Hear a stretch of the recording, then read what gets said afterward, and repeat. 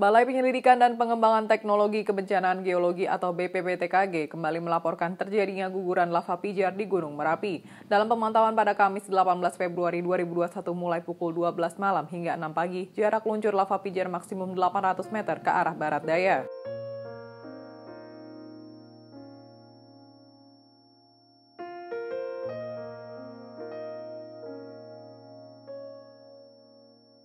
Balai Penyelidikan dan Pengembangan Teknologi Kebencanaan Geologi atau BPPTKG kembali melaporkan terjadinya guguran lava pijar di Gunung Merapi. Dalam pemantauan pada Kamis 18 Februari 2021 mulai pukul 12 malam hingga 6 pagi, jarak luncur lava pijar maksimum 800 meter ke arah barat daya. Kepala BPPTKG Hanik Humaida mengatakan teramati empat kali guguran lava pijar di Gunung Merapi. Selama periode tersebut tercatat pula ada 31 gempa guguran dengan durasi 11 sampai 109 detik.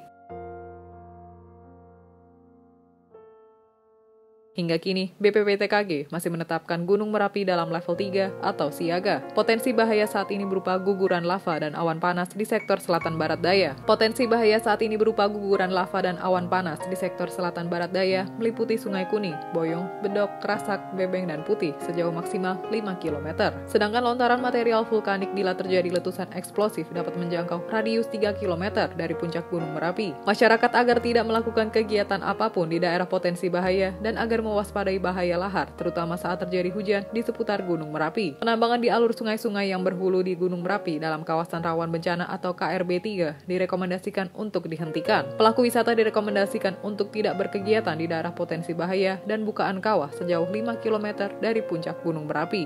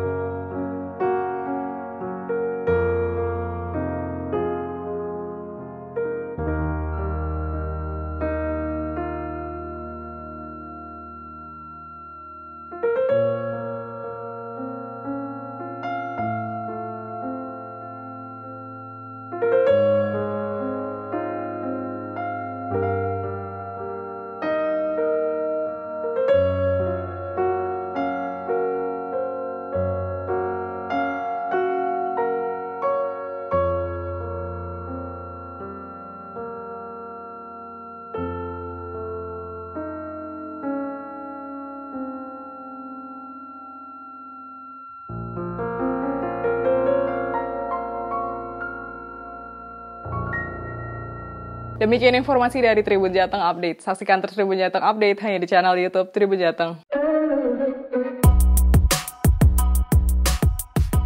Ikuti update terbaru dari sosial media Tribun Jateng.